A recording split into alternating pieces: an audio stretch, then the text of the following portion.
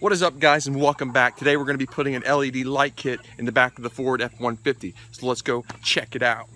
All right, let's check out this light kit. It's an LED system. It's got four LEDs on per side, eight feet long. So every two feet you have an LED light. I got an eight foot bed, so that's perfect. These run about $19.99 to $24.99 anywhere like Walmart, Pep Boys, O'Reilly, AutoZone, anywhere like that. I got mine off of Amazon. Cool part about mine is it's got like the switches and stuff already in there. You don't have to buy it separate. So let's go over that and what you need. This is the kit I got off Amazon.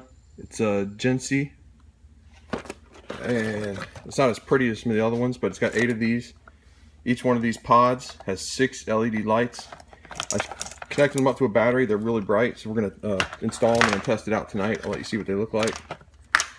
And then it's got mounting screws. You can do it that way, or you can use the 3M tape right there. It's a standard 3M tape. And it's got a lighted LED switch. When you're buying your switch, if you buy a switch, if you get a three prong, usually that'll light up the actual button, which I like. If you get a two prong, it'll just work as a switch.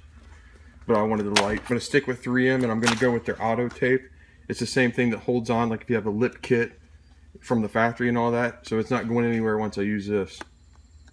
That is about four bucks like Walmart, O'Reilly, AutoZone, things like that. Now there's three ways you can do this. You can install the lighting and then you can just tap into an existing light like a running light that's running all the time.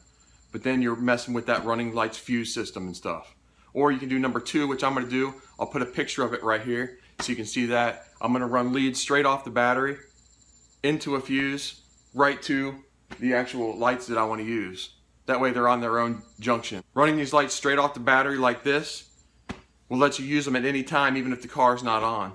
So that's pretty cool, I like that. And the third and final option, what you would do if you had like a light bar or something that used more power, you could run uh, just the same way, right off the battery, into a relay, into your switch and back. Items you will need, you will need the light kit itself, and it's got the switch in there, so technically you don't really need anything else, but if you want to do it really well, uh, here's the other things you will need. A multimeter, so you can check out what you're doing, make sure you're safe and your car's running right extra wire if you need it. Got the ring connectors. I'm going to use those to attach it to the battery terminals and just put a nut right up to it. Uh, I'm going to put a jump a fuse on the positive side and I put a 7.5 in there. And then if you want protective wire wrap for the stuff you're running under the car. And then just a mix of heat shrink tubing. Uh, thanks to Muscle vs. Tuner who recommended you buy this at Harbor Freight. This is literally like $4 for all this stuff in the box. 96 Ford F-150. It's just my farm truck. I got goats and pigs and chickens and stuff. I take it to get feed, pick up new goats, new pigs, whatever we get.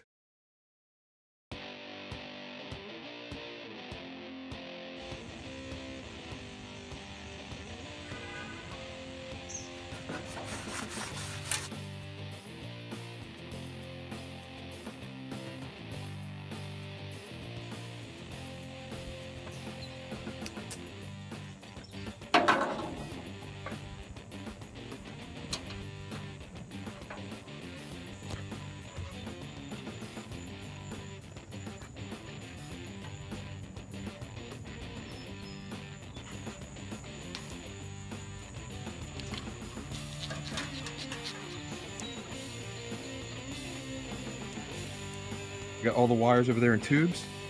And then they're mother effing tucked all the way down. And this side meets up with it here.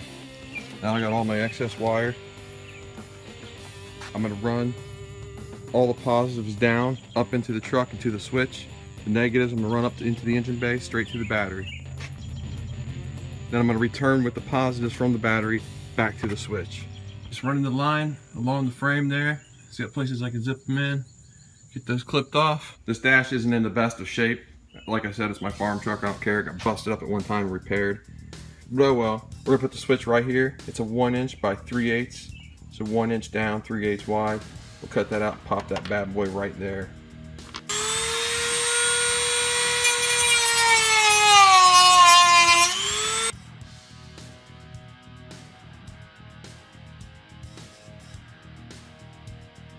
have it snapped in yet. That's gonna be perfect. I'm through the whole car and I'm up to the battery with the negative. So I'm gonna take it directly to one of these posts right here. And I'm gonna crimp it on.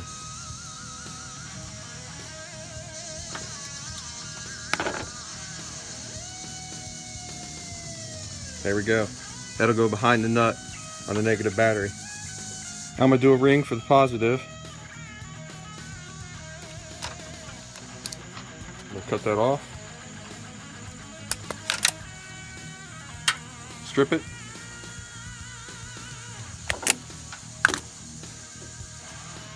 Run that to a coupler.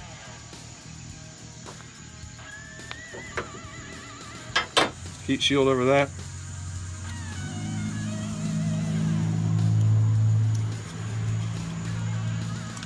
Then I'm going to place this fuse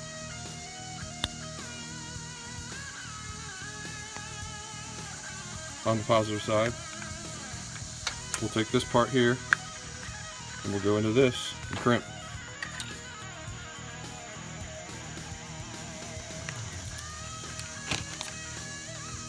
Place the heat shield over the whole thing. Ready to shrink. I'm going to clip this onto a regular wire, run it back to the switch. Okay, there's the power from the engine. That's going to go to the power. Here's the accessories or the lights we want to power on. Those come from the actual lights. Here is the ground that's zipped right to the frame of the truck down there. That's what'll make the light work. Here we go.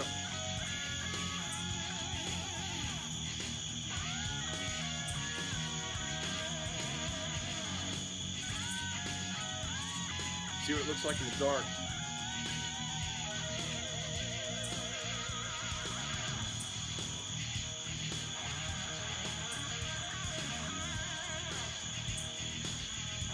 Don't know if the video does it justice, but it's super, super bright. Really did a good job. There you go. I really like the way it turned out. It's super, super nice, super bright. I don't know if you can tell it on the video, but I recommend it. For 20 freaking dollars, you gotta get it. It's awesome. If you like this video, I got more car videos on my channel. Check those out. There's more to come. Make sure you subscribe. There'll be more F-150 videos all different kinds of cars we're working on around here. Thanks for watching. If you liked it, leave a like, comment, subscribe. If you didn't like it, check out the other people on my channel under Bad Mofos, right down there in the bottom. Muscle versus Tuner, hilarious. Scotty Kilmer, fix any problem you got. Thanks again. See you guys later. Peace.